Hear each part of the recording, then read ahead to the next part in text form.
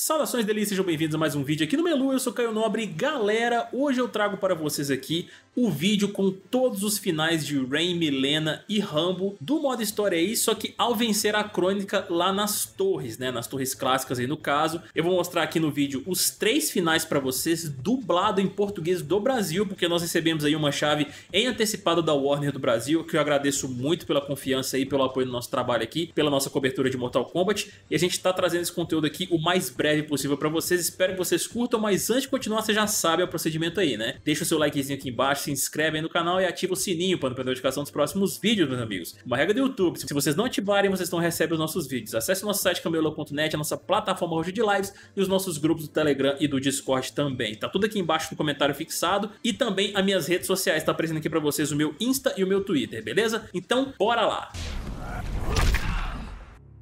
Crônica estava morta. A ampulheta conquistada e o futuro de Edenia sob meu controle. Eu tinha obtido tudo o que eu queria. Tudo exceto meu maior desejo. Saber a verdadeira história da minha descendência. Olha! Que eu era um bastardo, eu já sabia. Nascido de um romance ilícito entre o deus edeniano Argos e uma mulher mortal, Amara. Amara? Mas o que eu não sabia, até a ampulheta me mostrar, era que eu e minha mãe, ambos fomos vítimas de meu pai. Ela não me abandonou. Meu pai mentiu para ela. Disse que eu tinha nascido morto. Nossa. Fui roubado e largado para apodrecer com os camponeses, enquanto minha mãe morria de tristeza. Argos escondeu sua desonra, matando a única pessoa que um dia me amou. Por isso, ele deve morrer. Caralho. Assim como seus filhos, Taven e Dagon. Sua amada esposa Delia?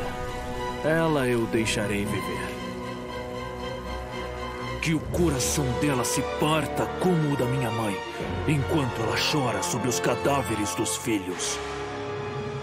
Caraca, meu irmão. Se esse final do Rain for canônico assim mesmo, rapaz, o Argus foi muito FDP mesmo, hein, cara. Fez a mãe biológica do Rain acreditar que ele tinha morrido, pegou ele, jogou ele lá pra poder viver com a galera de classe baixa de Eden. Nossa, mano, é um ponto assim que a gente entende até o lado do Rain, porque que ele tá pesão da vida, né, cara? Mas isso não tira também a arrogância e a prepotência do cara por ele ser um deus, né, velho? Só não resta saber se isso aqui é canônico ou não, né, minha gente? Mas vamos lá, vamos pro próximo final de personagem que a gente tem pra poder mostrar pra vocês desses três novos do Combat Pack 2. Bora lá, galera. Não pedi por esta guerra, mas depois que ela começou, Tive que ir até o fim. De longe, a Crônica foi o pior inimigo que eu já enfrentei. Todas minhas táticas, meu treino, eram inúteis contra uma deusa como ela. No fim, foi uma batalha de vontades. Nunca me ocorreu que, ganhando, eu ficaria com a ampulheta. A princípio, pensei em corrigir todos os erros da história. Mas daí eu percebi que isso decidiria o destino de bilhões de pessoas. Escolher quem vive e quem morre por toda a eternidade? Isso mataria a minha alma. Eu terminaria igual aqueles velhos que nos mandam para a guerra, cagando e andando para as consequências. E esse não é o homem que quero ser. É hora de partir. Para valer desta vez. E deixar a dor e o terror para trás.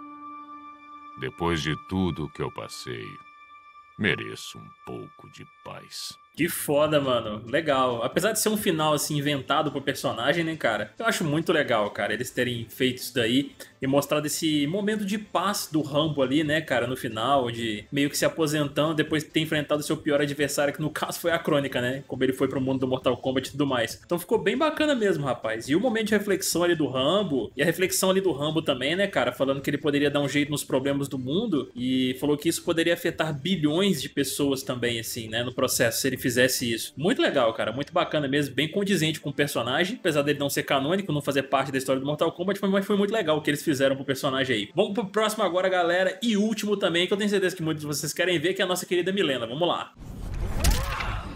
Com a ampulheta em mãos, minha atenção se voltou à minha irmã. Eu nasci da carne dela.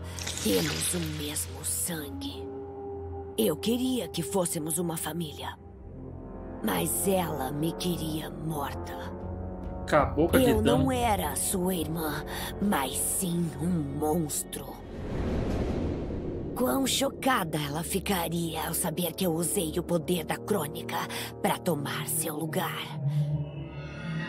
Sob o olhar de admiração dos meus pais, governo os reinos como cânon do tempo. Os amigos da minha irmã, o amor dela. Todos me apreciam. Kitana foi esquecida.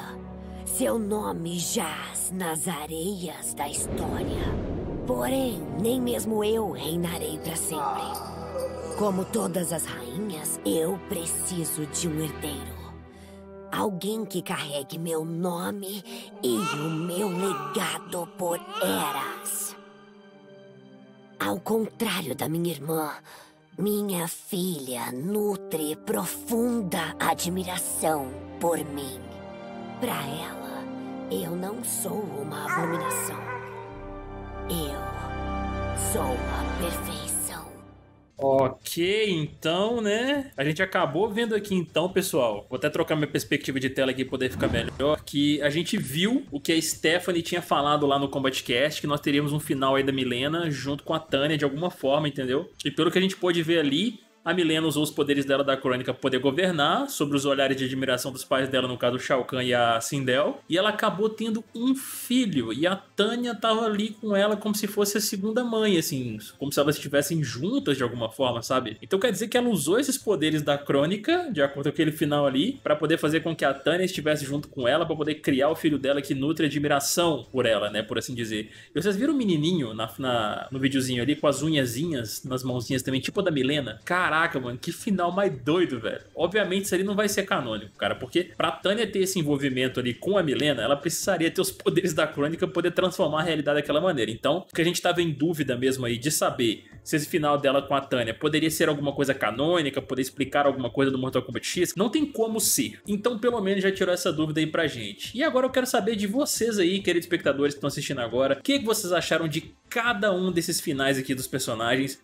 Rambo, Rain e Milena dos modos de história aí, do arcade, né, final de torre. Eu vou adorar ver a opinião de cada um de vocês ali. O final do Rain, cara, foi até que de partir um coração um pouquinho, né, mano? Fez a mulher acreditar que o Rain tinha nascido morto e tudo mais. Nossa, que sacanagem, mano. Mas assim, bacana, cara. O do Rambo nem se fala, né, velho? Não é canônico, a gente sabe muito bem disso, mas ficou bem legal a forma como eles fizeram o final do personagem ali e com a voz do Luiz Firemota, que se vocês não viram, tem entrevista tanto com o Luiz Firemota aqui, que é o dublador do Rambo, quanto com o Heitor Assali, que é o dublador do Rain. Vai estar aí no final do vídeo para vocês conferirem as duas entrevistas, não percam porque tá bem legal. Vou ficando por aqui, comenta aqui embaixo o que vocês acharam. Um beijo, ó. Gostou, você dá uma olhada pro pin esquerda e direita de cada um de vocês. Até mais e fomos, galera!